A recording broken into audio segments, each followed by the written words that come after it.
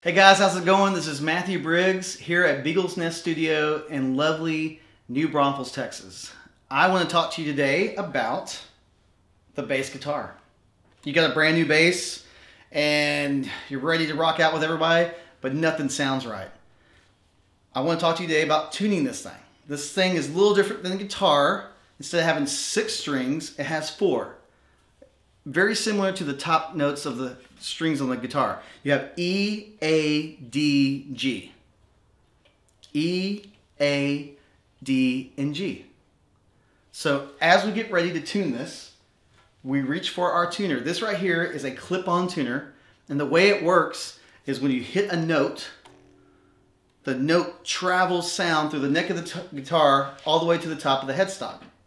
When it gets to the headstock, this computer reads it. It tells you whether or not you want to go up in pitch or down in pitch. Okay, so up in pitch is sharp, down in pitch is flat. This thing has a gas gauge on it. You can kind of see it. The way that this reads is if it's this way, it's low on gas. If it's this way, it's too much. We want to go straight up and down. And when we get to the note that we want, it'll light up. If we do the top one first, it'll say E. It'll light up E and it'll, it'll, it'll be green. Green means you're good, okay? So let's try tuning one up. Clip it on here. Uh, right now the setting says G. I don't want G. I don't want V for violin. I don't want U for ukulele. C is chromatic. Chromatic means is that you can tune any any fret up and down this bass. You can tune the G, the A, anywhere you want to land. But we're going to go ahead and put it on B for bass. We, this thing defaults for B for bass, giving you the E, A, D, and G strings. Okay? I'm going to put this right on my lap. I'm to take my finger here and I'm just going to pluck the top string. As I pluck the top string, I can tell that I need to give it a little bit more up in pitch. So I'm going to turn it counterclockwise to go up. And as soon as I do, I can spin it just enough for me to get the, the green. So now we're just gonna go to the next next string. We had E, next one is A.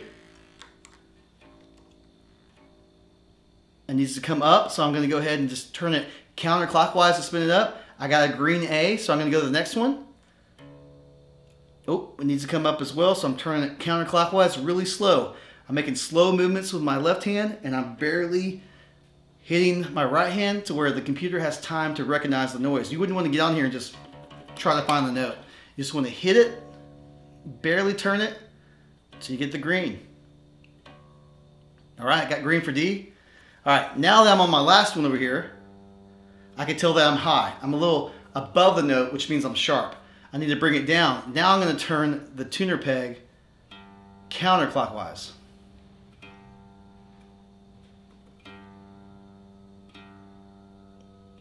All right, now that I have all notes in tune, I should be able to plug this into an amp and play along with all my friends as we're jamming out.